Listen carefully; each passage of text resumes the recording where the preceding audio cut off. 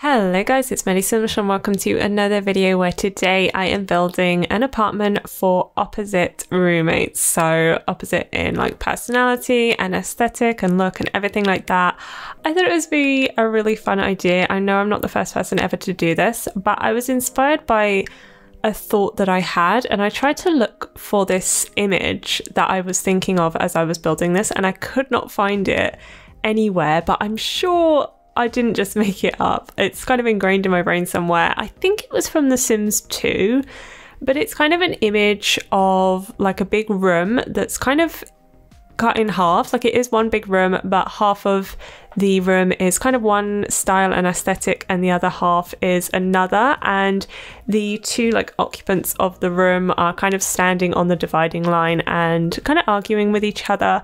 I feel like it may have been the Pleasant Twins, I'm not sure, but I tried to look for it, I couldn't find it. But this was kind of on my mind, and I had the idea to create an apartment with like this huge um, open plan bedroom that you can see has already taken shape here, where half of it is one very distinct style and the other half is another.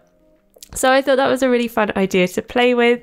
This is, in my mind at least, a kind of student apartment. So I was imagining these are two like university students who would live here, and because of that, in terms of the like more communal areas, so you can see the kitchen here, just using like a lot of the parenthood pack in terms of the counters and the cabinets. And I was thinking like, how would you kind of communicate two different aesthetics? But I thought if it's student accommodation, probably this area is just very basic. These these are like the the fixtures that just come with the um, apartment when you move in. It's only a temporary one while they're studying at university, so yeah, for this build, I actually first made the Sims that would live here just so I could get an idea of their personality and their style. So I was imagining one of the Sims is like very gothic and kind of dark um, in their like aesthetic and their look, and the other one is a lot more kind of stereotypically girly and pink and purple and things like that. So, um, one really great addition that we've had recently is likes and dislikes. So, my like imagination the um, sims that live here are quite musical so one of the sims um, I had that she liked pop music and she liked playing the piano and the violin, and the other one liked heavy metal music and liked playing guitar. And then conversely, they disliked the um, violin, and then the other sim disliked the guitar. So they basically have opposite likes and dislikes. Um, so one of the sims really likes black and hates pink, the other sim loves pink and hates black. Um, so yeah, I thought that was really fun. Um, I think that's just another way to like really diversify the Sims personality, and it's it's really great for storytelling. One little aspect that I do have here, you can see that little like hand that we got with the paranormal stuff pack. That's a little bit more of a spooky vibe, but then also these like cute paintings from Tiny Living. That's kind of one aspect in this area that I thought I could represent opposing Sims, but mainly it is in that bedroom. It is a huge bedroom, as you can see. It's probably a little bit too big. Um, but I know at least I think from what I know, um, in America, especially like dorms, um, when you go to university, you tend to share one like bedroom with someone else. So like it will be two beds in one room, which is absolutely crazy to me. I would absolutely hate that.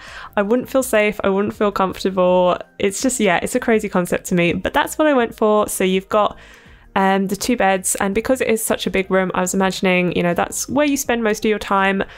But I actually do have a few communal areas. So you see, I've got that like little kitchen space. Um, I've got that dartboard there as well. And then that big bookshelf I end up replacing because student priorities, I actually replace it with a bar. Um, and, you know, I'm not really going to play in this apartment probably but i thought it was such a fun storyline and i thought there's a few different ways you can go with it but in my mind they don't get on very well and they argue a lot and they're very opposite but they're possibly in the same friendship group. So i wanted to put lots of sort of areas in the apartment where you can imagine that they would just throw like parties and have friends round. So they'd probably you know play darts and um, have the bar, and then I do actually have um, a bit strange, but I have a living area outside. So this is one of the Culpeper House apartments, and it has a really lovely big balcony, and I actually make that into a living space, um, which you will see a bit later. But yeah, there are some kind of communal areas, so I imagine they're not like fighting 100% of the time. Um, but yeah, I also thought I can just imagine a really cute storyline where they actually end up getting together. I thought that was really fun. But yeah, it's just a kind of storyline I've never played with before. But um, you can see that I have one huge bathroom. This is such a big bathroom. I've never done one this big before.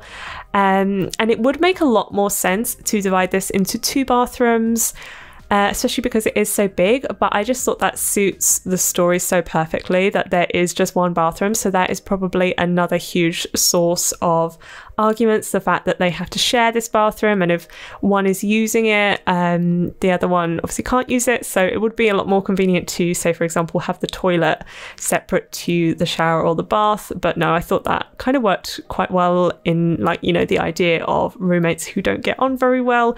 Often i know bathrooms are a source of conflict. So yeah it is so huge. I even managed to use that kind of triangle tub that takes up a bit of space. There is also a separate shower the toilet and the sinks and the cabinets and stuff, it is very big. It's not really ideal, but again, it is a student apartment, and I know often student apartments are not ideal. So, um, often they do just have these kind of design flaws. So, I thought that kind of played into that idea. Um, and you can see that I did double check that this balcony has a roof, so I thought it's probably not too unrealistic to put like electronics out here. I thought it looked quite well sheltered, but I just wanted to make this a really cozy space and I absolutely love it. I used a lot of like dark blues in this space. Um, I have these fairy lights from Toddler's Stuff. I add some like fuzzy rugs from uh, Snowy Escape. I have that huge TV and that like games console because also a barbecue as well well. So yeah, I was imagining, like I said, a lot of like friends coming around, a lot of parties being held because it is student accommodation. They are sort of studying, so they probably have a lot of people around and have a lot of like areas to entertain, especially because um, the bedroom is huge, the bathroom is huge, but the kitchen and kind of dining area is so small they barely even count as like a kitchen and dining area so it was kind of nice to have this space to go into um, just use a few of the plants from the paranormal pack, and then these are the snowy escape rugs. I just put three of them down, and yeah, it just felt so cozy. I put a little heater as well. I imagine like in the winter, it'd be really nice to kind of um, just sit out here on the sofa. And then I also added that um, flip chart thing just because it is a student uh, apartment, and I did want to make it a little bit more studious. But moving on to the bedroom now, I wasn't 100% sure about this wallpaper. I'm pretty sure I keep it the same though. It's got like bats on it, it's from the vampire pack, but yeah, um, you can see there's definitely a very distinct style. And one really fun thing that I did, um, because as I said, I made the Sims. So with their traits, they both have the creative trait because they're both musicians. Um, but apart from that, they're quite opposites. So one of the Sims um, has the good trait and one has the bad trait, but actually, or the evil trait rather. But um, the one who's kind of gothic and like very black in their aesthetic, they actually are the good sim, and the one who has that kind of lighter, more girly, like pink purple aesthetic, she is actually an evil sim. And you can see I've got some clothing piles there. I imagine that she's like really messy and. I've heard this about Angela and Lilith Pleasant, so that's kind of, I guess, what I modeled them after. So Angela is supposed to be the angel, and then Lilith, you know, she's the gothic one. Um, but there is actually some suggestion that Angela is the kind of bad twin, and then um, Lilith is the good one. So that's kind of what I was playing around with. Um, just like yeah what i was thinking there i thought that would be quite a fun thing that's probably another source of like conflict between them one is a good sim and one is an evil sim um, but yeah, you can see I am using a lot of purple. I rarely use purple because I do think a lot of the shades of purple in the game are just too like bold and bright and not a very nice shade.